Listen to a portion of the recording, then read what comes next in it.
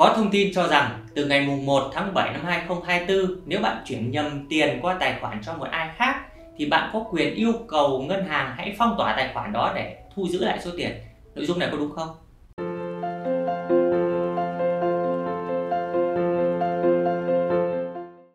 Thưa các bạn, nội dung này là không chính xác, không đầy đủ.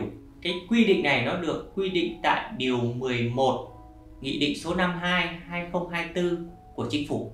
Theo đó thì có quy định 4 trường hợp được phép phong tỏa cái tài khoản ngân hàng và trong đó nó có trường hợp thứ nhất nó trường hợp là hai bên có cái thỏa thuận về việc phong tỏa. Nếu nảy sinh những trường hợp đặc biệt mà các bên đã thỏa thuận với nhau.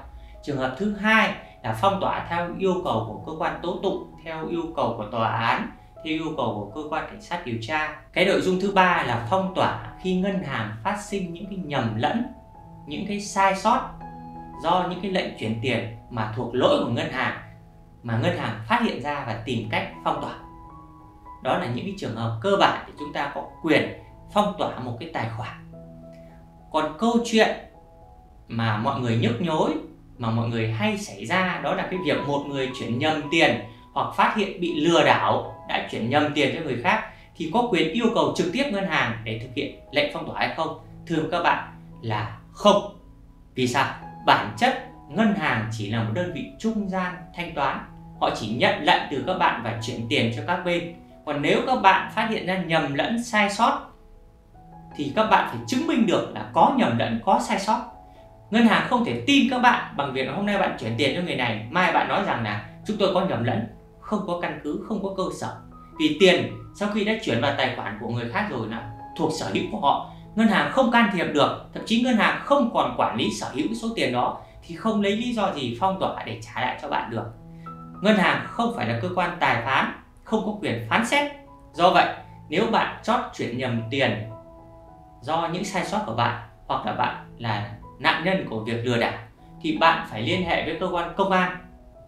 Liên hệ với tòa án, chỉ có lệnh của cơ quan công an về việc phong tỏa tài khoản, hoặc có lệnh có quyết định của tòa án về việc áp dụng biện pháp khẩn cấp tạm thời, thì khi này ngân hàng phải tuân theo hai cái lệnh, hai cái quyết định này thì họ mới được quyền phong tỏa tài khoản để làm căn cứ thi hành án, làm căn cứ đảm bảo bạn có thể thu hồi được số tiền, chứ không có ngân hàng nào được quyền tự tiện phong tỏa tài khoản để thu hồi số tiền cho bạn.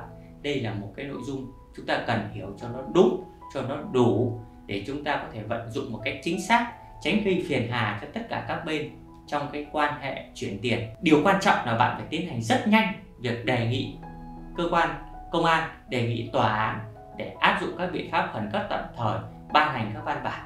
Đó là cái việc bạn phải làm, phải cố gắng để có thể bảo vệ được quyền lợi, chứ không phải là đi kêu đòi những cái người đó là ngân hàng khi họ không có quy định, không có căn cứ pháp lý buộc họ phải làm. Xin cảm ơn các bạn.